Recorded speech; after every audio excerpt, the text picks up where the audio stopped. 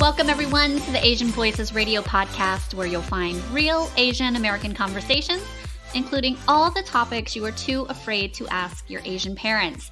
I'm your host, Linda Schwartz, and today we have a special episode that focuses on an important topic of health and wellness with two board certified doctors who will share their tips and expertise on how we can help our families and kids stay healthy in preparing for the summer.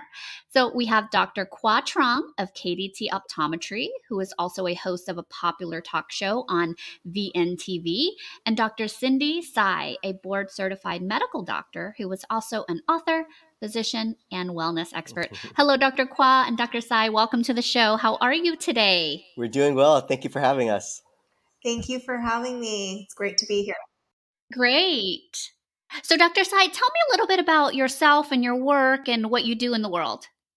Sure. So, I'm a board certified internal medicine physician who transitioned to entrepreneurship, speaking, and life coaching. And I recently released a best selling book. It's a self help book based in mindfulness.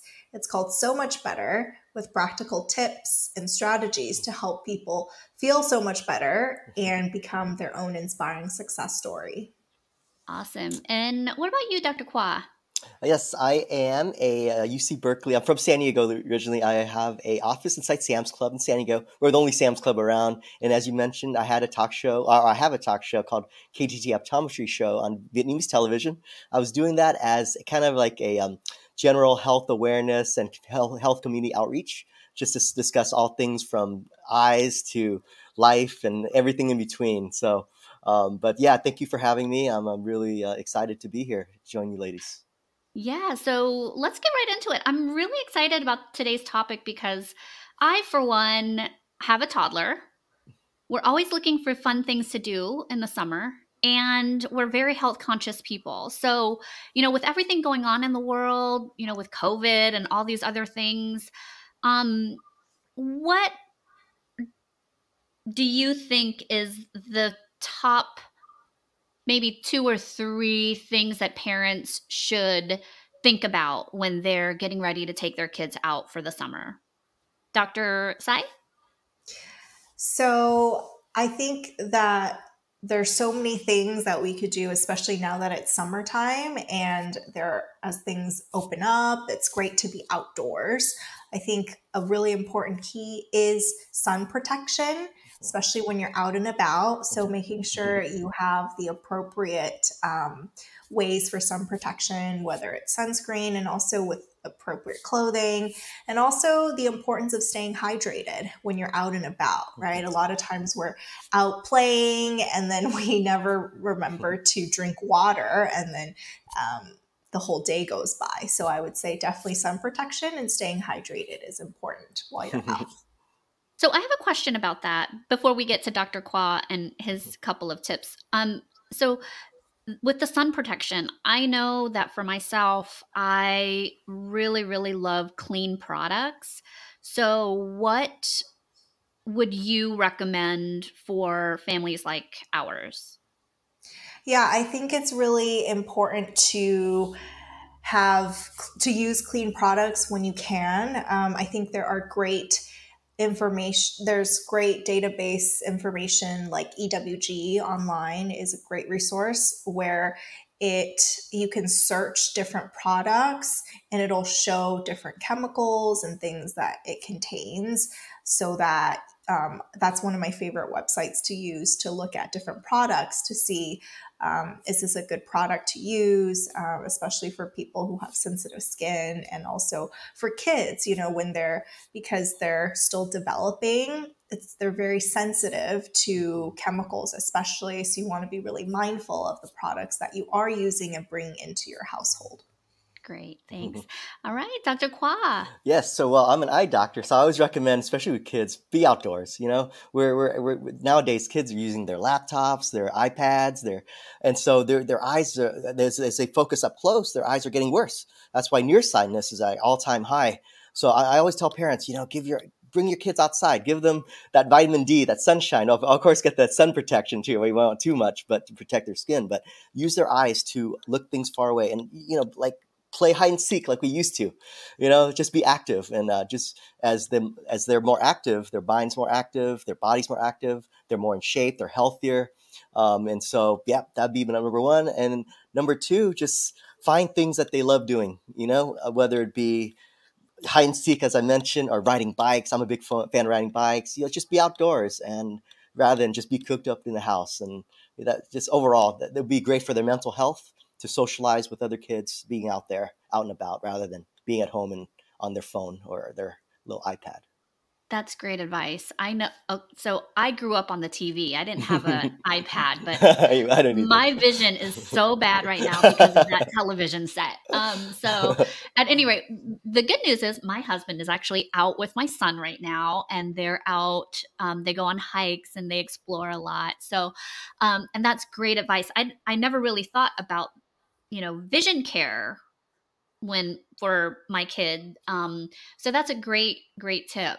And what i really love about you guys is you have um, some very holistic ways of of being in the world so to speak and your practice and how you integrate um, traditional Western medicine, but also integrate, you know, Western or Eastern philosophies, perhaps, or even um, a more holistic view of the way that you are with people and your patients. So, Dr. Tsai, can you talk a little bit about what um, what your philosophy is in your work and and how you um, how how you handle or deal with patients?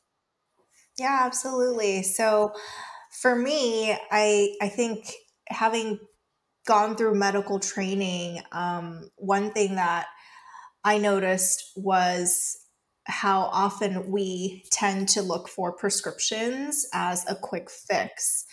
And for me, I really wanted to do more than prescribe medications as a band aid because I think true wellness and healing is, is really taking that integrative approach and looking at the whole picture. And I think it's important to remember that it's not one size fits all. You know, everyone's different. So the things you need are different. And what I love about taking this integrative medicine approach is that you get to take what works. You know, there's definitely a lot of information and evidence with a lot of Western practices, um, the science, the research, and also bringing in different complementary alternative therapies that can be very effective and useful that maybe not as um, isn't as mainstream. Acupuncture you know all these other modalities visualization and you know things like that mindfulness to really help people attain true wellness overall Great. So, and what's your definition of wellness? I know you kind of touched on it with all of these integrative terminologies, but, and also, can you define what integrative medicine is for people who might not know what that means? Yeah, absolutely. So, integrative medicine is a subspecialty within um, medicine, and it basically is a field where you take the um, conventional Western therapies and the complementary alternative therapies and really putting the patient at the center of their care. So um, I really think this is the future of medicine. You know, it's not one size fits all. It's, you know, different things work for different people. And knowing that, depending on where you are, different things will work for you too, right? It's an ongoing process and evolution. And so I think it's just really important to work with a team of providers who can listen, who are going to work with you and who um, have that more, um, I guess, holistic, integrative approach to really look at the root cause and not just like, you know, treat the symptoms and put a band aid on. Yeah. So, I, um, yeah. I really love that approach because, um, you know, all the symptoms that we have are just a, um, symptoms of a deeper issue that we really need to get to the root cause of and i love that that that's the type of work that you do because you know modern medicine really just treats the symptoms and sometimes you just don't get anywhere with that and and I'm not going to go into personal stories right now, but um, but I definitely love I love the idea of having an integrated approach um, because you get the best of both worlds and you really do attack and get to the root cause of, of the issue, the health is- issue. So so, Dr. Khoa, yes. What is what are your philosophies in your work? I'd love to hear about it. You yeah, definitely. Yeah. I, well, I'm an eye doctor, as you know, and um, so patients always ask, you know, how do I keep my eyes, eyes healthy? So people don't realize, but eyes are the extension of our bodies. So if our bodies are healthy, most likely our eyes are healthy. So a lot of times, little tips I'll give patients is, you know, wear sunglasses outside take frequent breaks. Like we, we work in a world where computer use is most for most of our jobs. So uh, there's a thing called the 2020 rule. So basically, every 20 minutes, take a 20 second break, look at 20 feet away. So what that does is relaxes the muscles of our eye. So it's not so locked in. It doesn't feel like, because you think about it, when we're focused up close, it's like carrying around a two pound dumbbell. It's not very mm-hmm. heavy, but towards the end of the day, our arms, we don't let go our arms would just be fried, right? Our forearms, our wrists. So a lot of it is, as Dr. Tsai mentioned, you know, it's an integrative approach. It's a, wellness to me is like homeostasis, where basically means balance, balance in our minds, our bodies, just overall where we feel at peace. You know, it's it's like we live in this world now where there's so much chaos, and you know, it's just sometimes there's so much stress stressors that sometimes it's not, but we, we can't control the stress, but we control our minds and control how we react to it. So I, to my patients, I always let them know, you know, you got, you know, patients who have diabetes, people don't realize, but that, that's one of the leading causes of blindness. Uh, you know, oh. people who, whose blood sugars are just out of control. And then when you see little kids with diabetes, it's just heartbreaking because a lot of it is diet, unless they have a juvenile onset. But a lot of times it's just type 2 it's just what they eat, unfortunately, and not lack of exercise. Um, and so I'm, I'm all with Dr. Tsai about uh, integrating, you know, going to the root cause. Because let's say a headache, for example, or someone has eye pain. There's a reason for the eye pain. I'd rather not just describe, you know, prescribe like a Tylenol for the pain. We got to see why there is that pain. Um, and so it, it, the bandage approach is good for the quick fix, but we want to basically treat treat the root cause versus just, as you mentioned, um, there's a lot of times where it's just the medicines of the Western medicine. We're just doing the bandage approach. So, so Dr. Khoa, what about these blue blocker eyeglasses and sun? What are they? I don't even know what they are, but I know that. Oh, so basically, when we uh, obviously we use the computer a lot. Well, actually, we're on a computer right now as we speak. But what happens is when the when we're using the computer, uh, the screen emits this blue light, and what that causes a lot of ocular fatigue or eye fatigue. And so what these glasses do that a lot of people are using now is it helps blocks this certain wavelength. And so our, our eyes feel more at ease. And so we don't get so strained and stressed out with our eyes towards the end of the day. So it's more of a, like a comfort thing. Actually, I use it personally, my own uh, uh, eyeglasses. Um, and so it does help. Um, right. I definitely recommend it as an add-on. Awesome. To many, to many and patients. I understand, as I understand it, you have a philosophy of, of pillars can you talk a little bit about that? Yeah. So, you know, we, we all go through tough times in life, right? It's just, uh, so I found personally in my personal journey through my struggles and um, that there's these four, I call four pillars of life. Um, the four P's, I call it. Uh, one is positive energy, positivity. I'll, I'll first name it and I'll kind of go into it. Um, positivity, passion, purpose, and persistence. And so those four P's, I think if you kind of, you know, I, I, can obviously break it down, but we can do several episodes about each P, but I just want to mention it, but it's, it's helped me a lot. Um, you know, it's kind of self-explanatory, but of course it can be broken down. Um, if for me, it's helped a lot and I think it could help a lot of people.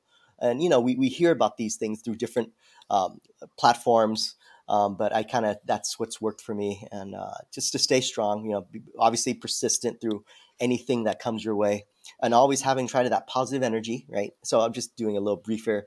Um, having a sense of purpose, uh, what why you're here, what things do you want to do, accomplish, and um, so yeah. And then the last one, let's see, what did I, I'm having a brain freeze. So the four positivity, persistence, purpose, and passion. And so if you go through life with a lot of passion and zest and just energy, um, you know, you, the world is your oyster. I think you know you go after what you want and present it with a great passion, and a lot of people are perceptive to that. Great. I love that. I love that philosophy. So positivity, Mm-hmm. Posit- passion, passion, purpose, and persistence. persistence. Yes. That's great. That's awesome. Yeah, that's the So- passion is what I had a, the brain fart on. So sorry about that. It's okay. It happens. yeah, I can tell with you have such great energy. You're always positive. Every time I talk to you, you just you you are what you say you are when you I talk try that to. that that Thank is you. I, I can tell that you live and embrace that philosophy. I'm humbled by that. Thank you. Thank you. Yes, absolutely. Um, so you know, now that that summer is here, I feel I feel like it. It's here. Is it official? I don't even know if it's officially here yet. I think Memorial Day is official. Well, not official, but it's considered like the start of summer, right? I, don't even. I, I don't know. But I think like I don't June even know when 21st when Memorial Day did Memorial Day even happen yet. Like it did. It did. um so but you know let let's talk a little bit about like practical tips and things you know what what can, talk about a, your daily routine like what do you do to keep yourself in that wellness and the balance um Sure. you know what you do to make sure that you're at, you're at your optimum level throughout the day so dr tsai talk about your your daily routine to keep your wellness and your health in check with like the environment So I would say that my routine has definitely evolved over time and continues to. Um, in general, I think that the morning and the evening routine is most important. So, really staying on top of that. So, every morning when I wake up, I do meditate for a short amount of time. I set intentions, I look at my day, and I um, really visualize how and how I want my day to go. And I think it's really helpful because a lot of times we tend to start our days in a rush and then we don't really um, take time to think about how we want things to go. So I find that first thing in the morning, that peace and quiet is really, really important for me personally to really have that time and be mindful and to recognize, like, hey, what are some things that are really important to me? Um, how do I want this to go? How do I want to show up? Um, all of these things to really set the tone. And then, of course, having a really good, nutritious breakfast. Um, and then kind of continuing on starting my day, various meetings and, and things like that. Um, and then, um, healthy, nutritious lunch, um, taking time in between breaks, things like that. And I usually do like to end the day with some type of walk or exercise. And then um, having a nice dinner, um, connecting with friends, loved ones. Um, and then at the end of the day, definitely giving a lot of gratitude for um, how the day went, reflections, things like that. So um, that's pretty much my routine. great and what about you dr khoa Yeah, so I usually like to start the day. Um, well, first of all, you try to get enough sleep, right? Everyone has a certain. They always say like eight hours is optimum, but it it actually depends on your own body. So some people need more, some people need less. It's just, you listen to your body, and so I try to get seven seven hours. Uh, try to wake, you know, go to bed early, wake up early, and I start the day with some type of exercise. For me, my passion is uh, road cycling and mountain biking, uh, and so I that's where I get my meditation and I get my peace and I find you know that r- real serenity, especially when it's early in the mornings, um, to get the heart beating fast, to get the adrenaline running, and it gives me a great start to the day. And I usually I'm off two days, um, but to, like today I'm off. But uh, a lot of times I then I start I start work around ten, and then as uh, nutrition is obviously very important, as Dr. Tsai mentioned. Try to eat healthy, but you know sometimes you you can splurge, right? Especially if you it's all about calories in, calories out. You want to make sure you have a good uh, you don't have too much excess because some of that can store as fat if you don't burn it off. Um, so you know, great day at work. Try, try to tr- try to always connect uh, with my patients and then connect with my friends and family throughout the day. Uh, especially, it's real helpful with social media now. And, and you know, at night, it's always good to wind down, and that's where I find I do a little bit of a meditation myself and just. Um, what word really works for me to help me sleep is actually I listen to rain. So I have a Spotify and I use rain or I use like nature. So I have like bird sounds playing. I don't know what my wife's thinking, but it sounds like a uh-huh. forest in my room. But I find it really, you know, I sleep like a baby, right? Because you just hear try it. You know, I usually recommend it to a lot of my friends and family. You know, if you have trouble sleeping, or actually even if you don't have trouble sleeping, because you, as you're sleeping, you're actually hearing these sounds. It's and it, just it, so it, relaxing. It is right, especially rain too. And I, you know, and then why not give? You know, there's no real rain. You can simulate that through other. You know, if you don't have Spotify, you can through YouTube. There's a lot of obviously a lot of mediums you could go Yeah. through to get that. So That's but- great. attaining that homeostasis, right? That balance is the key. Yes. So obviously, you guys don't have kids obviously. because Yeah. let me t- let me tell you about my morning routine. Okay, yeah. Okay. please, please. No, I'm kidding. Um, because I have a three year old who wakes up with an abundance of energy. And no matter what I say and what I do, like I will try to, you know, and, and I'm like Dr. Tsai. When I wake up, I, I like to have some quiet time. And, and, you know, one of the tips that I've, I got was, well, invite him into that. Invite him into that, uh, that space with you.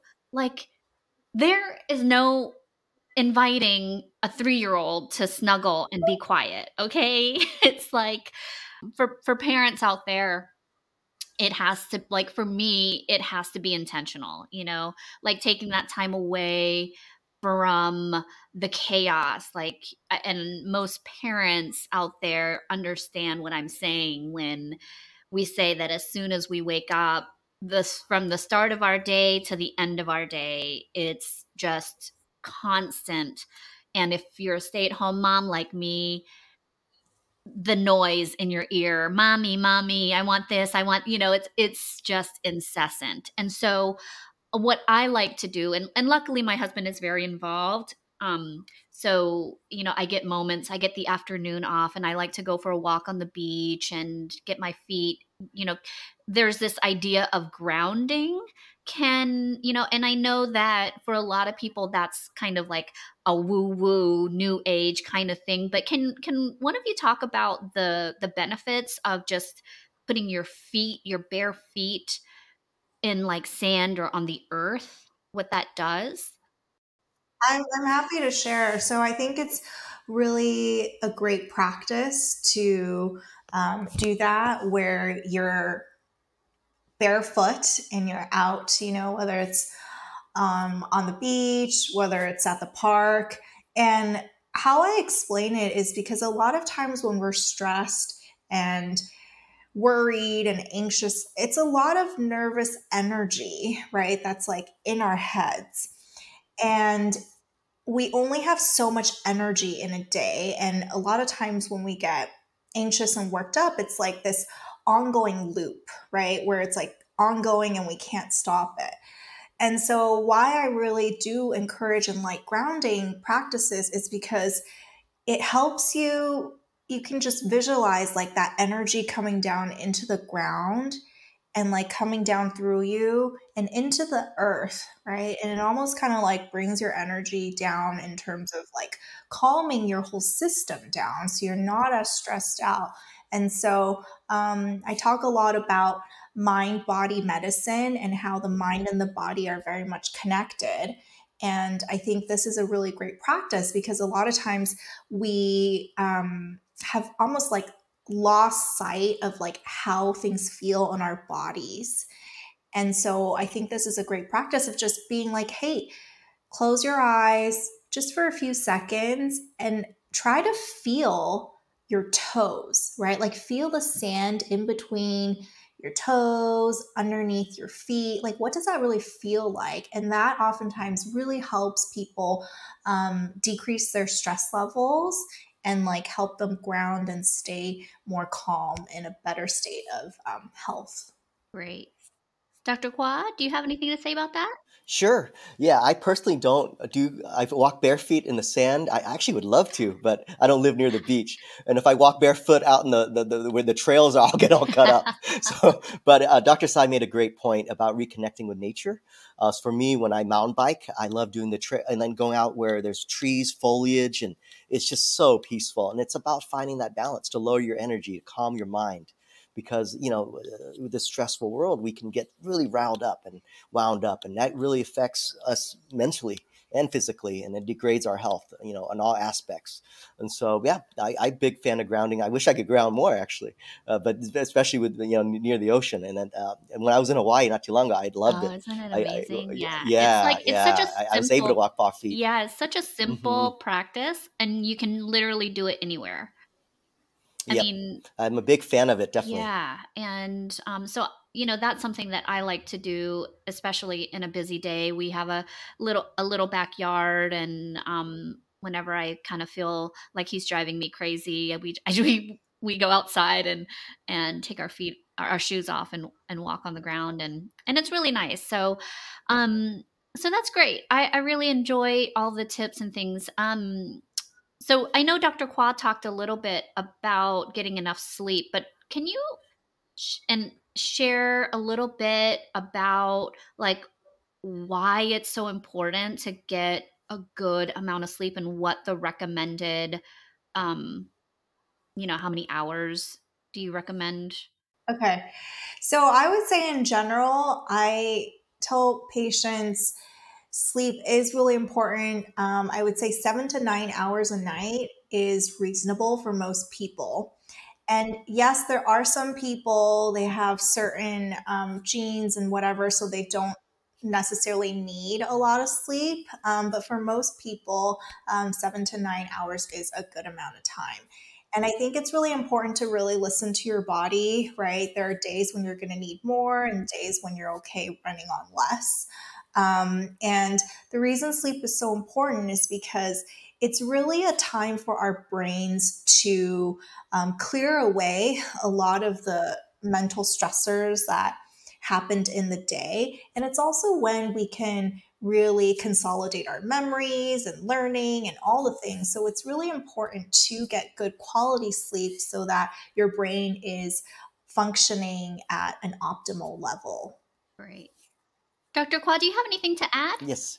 Yeah, definitely. So I mentioned previously I, I use the like the rain and but yeah, the reason why it's so important for us to get sleep is as Dr. Tsai mentioned mentally, but also physically, our cells are healing our our set our skin is uh, mitosis is dividing our, our, our brain is healing so that's a time when a lot of our cell think about our body just heals during that time and so by getting enough, we need it.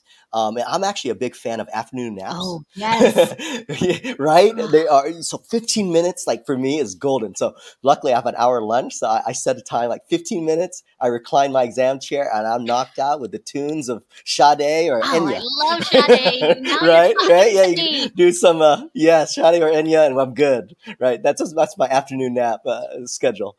So, but yeah, as Dr. Tsai mentioned, uh, sleep is just of utmost importance for us to function properly. That's so that's so great. So I can I share my little nighttime routine? Please, yes, please. So I like to take a few supplements. And mm-hmm. sometimes I'll take a little bit of melatonin, but I started having melatonin nightmares. So I stopped that. Mm, and okay. now I just do two bags of uh, chamomile tea. So that's, you know, part of my like wind down and my relaxation. And I'll drink the tea. And I'm telling you, chamomile tea is amazing. It's an amazing mm-hmm.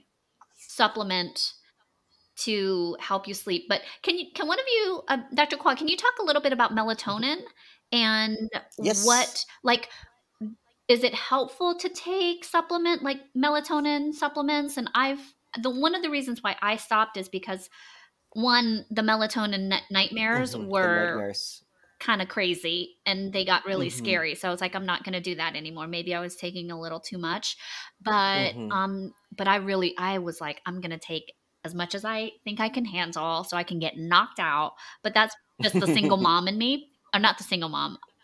Um, stay at home mom. Um, yeah, you're not single. No, I'm not. I'm totally not. Um, you're taking. But you're taking. you know, I know that I know that um, because melatonin is something that we naturally make, right? Mhm. So yes, if we take a supplement, can you talk a little bit about the benefits and also like how much we should be taking?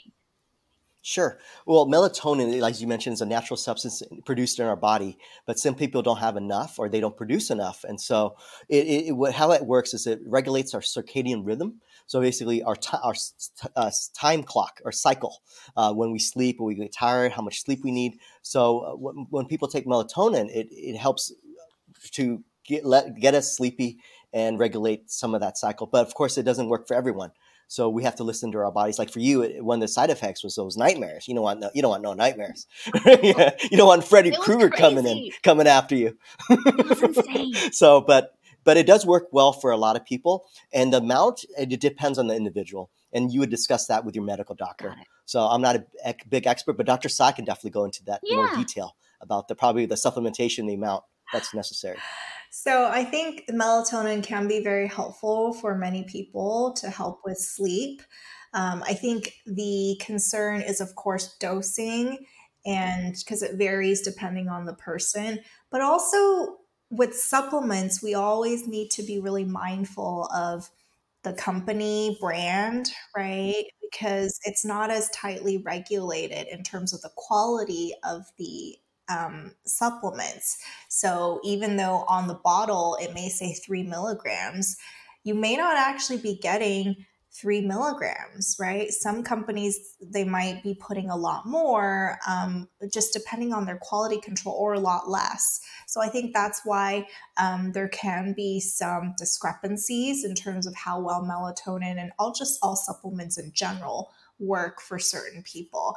Um, but I think melatonin can be helpful for some people. Again, listen to your body. And just in general, I think for sleep, best things really recommending things like sleep hygiene, which doesn't sound glamorous, but it really works. Um, you know, it's as um, Dr. Khoa mentioned earlier with like the blue light canceling glasses, right? Putting those on, especially bedtime, turning off your devices an hour before just to minimize that exposure because all those things, blue light, can keep you awake and really disrupt the circadian rhythm so that you don't get your natural um, sleep um, triggers with melatonin to, to kind of get into a restful state of sleep. Great. I love it. Thank you guys. So, you know, I just one more thing about sleep sleeping because in my world before um I discovered why sleep was so important, I was one of these people who would literally lie awake at night with my list of to do, you know, things that I needed to do, like keeping me awake. And and it it it became this vicious cycle where I would wake up tired, I would be grouchy, I would be, you know, mean to like it was an extension this sleep deprivation was an extension of um like my way of being in the world. Like I became you know, just irritated all the time. And then I discovered why sleep was so important. And I was like, okay, I'm going to sleep train myself. You know how you sleep train kids? I sl- I did that to myself. And I'm telling you, ever since I did that, and I typically get about eight or nine hours of sleep every night, even with a toddler. Um, you know, in the beginning days, it- wasn't like that, but um, but now you know my mood is much better. I'm always you know i feel better. I feel like i can uh, can get through my day. And um you know i just feel like the circadian rhythm if you guys don't know about it go research that. Sleep train yourself. Go to bed at a certain time every single night until you until your body gets used to it so at any rate that's all i have to say about sleeping get it and um you know, we're coming up at the top of our time together, you guys. It was such a great uh, time being with you. And I wish we could talk more, and maybe you guys can come on again in the future. And um, that way we can talk. You know more about different topics and and continue this conversation. But um, before we go, you know, tell people where they can find you on social media if you have social media pages or your website, Dr. Tsai. Sure. Well, I'm happy to connect with people on social media. My handle is at Cindy Tsai MD, C I N D Y T S A I M D. I'm on LinkedIn, Instagram, Facebook, all the um, social media channels. And then you can also visit my website, cindytsaimd.com, for more information. Thank you. Dr. Khoa? Uh, so yes, so you can find me personally at Sam's Club in San Diego. I'm the only Sam's Club around. Uh, drop by, say hello. Um, you can find me on Instagram at um, EyeDocKhoa, so E Y E D O C K H O A. Um, Facebook, KDT Optometry. I have a Facebook business page and also a website, kdtoptometry.com, where and I'd be happy to answer any of your questions about the eyes and life and anything between. Great. Thank you guys. Thank you for so much for having us. Absolutely. Well, you guys, I'm afraid that's all the time we have for today. I want to thank our guests, Dr. Khoa Truong and Dr. Cindy Tsai, for joining us. If you have any suggestions for future guests or topics, we'd love to hear from you. Also, be sure to subscribe on your favorite podcast platform, as well as follow us on Facebook, Twitter, and Instagram. Asian Voices Radio is produced by Asian Culture and Media Alliance, a nonprofit that empowers our API community with a voice through media arts. If you would like to support our program and make a donation, please visit AsianVoicesRadio.com. And thank you for listening. I'm your host, Linda Schwartz. Please join us next week for another exciting and thought provoking Asian Voices radio show.